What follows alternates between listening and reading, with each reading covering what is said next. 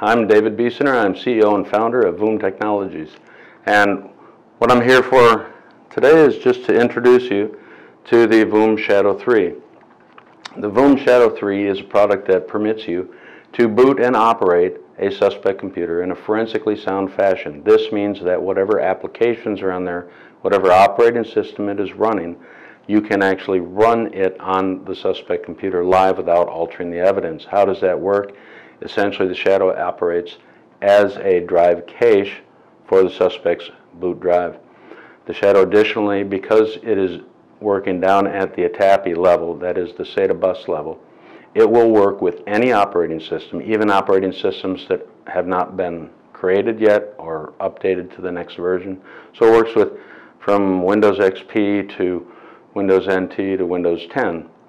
Uh, it works with Linux, all the different Linux variants. Additionally, it works with custom operating systems. Uh, works with Mac OS. It works with uh, GameBox systems, so Xbox 360, uh, uh, PS4, whatever those game consoles are.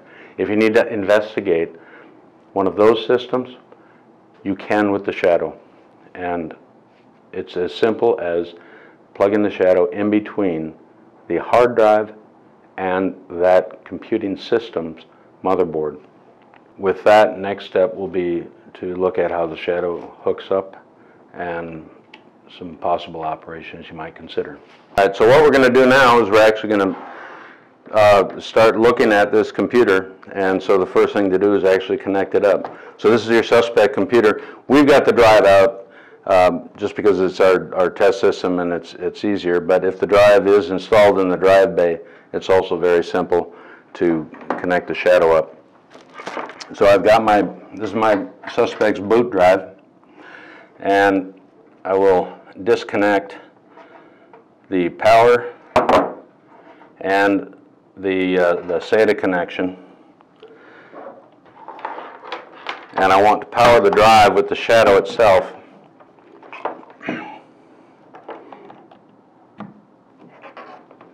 Gets DC power there, and then I want the shadow to be the one directly talking to the suspect's hard drive.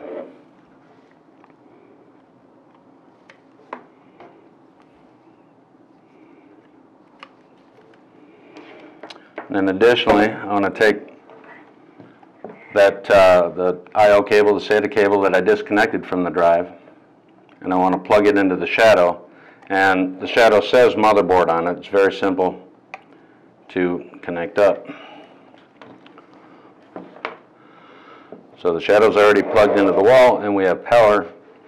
And so now that I've, I've got it connected and I've got the shadow intervening in between the motherboard and the hard drive and the hard drive is being powered by the shadow itself. So I'll turn on the shadow and I will wait for it to tell me that it is ready. Comes up and announces firmware rev level that it's initializing and now it's ready. And what the shadow's done at this point is it has stolen the hard drive's identification, so it's stolen its identity. So when we power on the suspect computer, the shadow is going to report back that it is this same hard drive. And so the PC will not know, the PC's hardware, the motherboard will not know that anything has been altered. You can see the PC booted normally. And what I'm going to do is just make some simple alterations so I can demonstrate that the shadow is not in fact altering anything at all on the, um, on the suspect hard drive. So you can see now the suspect computer is booting normally. It does not realize the shadow's in between because the shadow is telling the suspect computer that it is its boot drive. Even with, with, modern operating systems from Windows to Linux, even when you boot up the system, it's actually altering the data on the suspect computer. So this is one of the reasons why if you're doing a forensic investigation, you don't want to boot the suspect computer because you're going to alter the, uh, the either the, the clone of the drive or the suspect's original drive. But with the shadow, you can because the, writes are actually, that are sent from the motherboard are actually stored inside the shadow. Now I can do anything I want. I've booted with the shadow. If there's any applications, if the, the suspect has got um, custom software on there, um, you can use the, the Windows registry editor to look at whatever's in the registry. You can pull up their web browsers and look at the, uh, the internet history that's, that's readily available, whatever the, the suspect's desktop looked like. Basically, anything that's on there you can operate and run. Um, additionally, you can take screenshots. So, for instance, if the, the bad guy's got some bad pictures on there, some obviously bad pictures, you could go through and simply bring up the pictures. So let's say this is a bad guy picture. You could bring it up, you could take a screenshot, you could print it out, you could store that screenshot on a, um, a USB stick, you could take a video of it, and it's repeatable. You could also do it live in court if, um, if you so desired. And I can do anything I want. I can move stuff. I can delete files. And why is that important? That's important because I may need to, before I ever get through the user password, I may have a Linux boot application that I can boot up and go in and whack the user login password so that I can get ready access. I am eliminating the user password, but only on the shadow.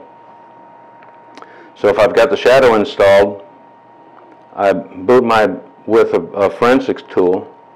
It's still operating the suspect's hard drive, but I go in and I delete the password, and then I can turn the system off.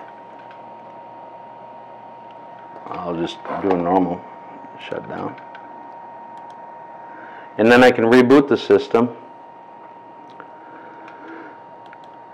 So let's say I whack the password. I take my boot device out there that I whacked the password on the suspect's shadowed drive, reboot back up, and get into the, uh, the, the, suspect's uh, user login. Rebooted, you can see that those files have been moved. So I've got two, one file here, one file here, and these were pictures up here. All right, so just remember that, and what we're going to do is we're going to do a shutdown. Now we're going to zero the shadow, and all that is doing, so I'm just going to turn off. When I zero the shadow, the shadow actually forgets what writes were committed from the motherboard to the hard drive that were actually just stored inside the shadow. All right, suspect computer is now off, and you can see the shadow says it's parked. I'll just turn the shadow off. I will turn it back on. It's going to go through its normal process of identifying that drive, collecting its identification information. But then instead of just immediately rebooting the suspect computer, I'm going to zero the shadow. It's going to ask me if I'm sure. Task done. That's how fast it is. And what the shadow did is, is it forgot that it had written those blocks. So when I boot the suspect computer again. I'll just turn him on.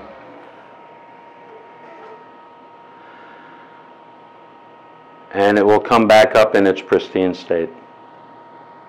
So I can both preserve necessary changes I may have introduced during the investigation to get past a user login as an example, and I can always go back to start. For instance, if I'm guessing a user password, and I'm guessing and guessing and guessing, and I'm wrong, and it locks me out. That's not an issue. I can simply zero the, the shadow on the next reboot and try again. This will finish rebooting shortly. And as you can see, those files that I moved are no longer down here. The one that I deleted is back.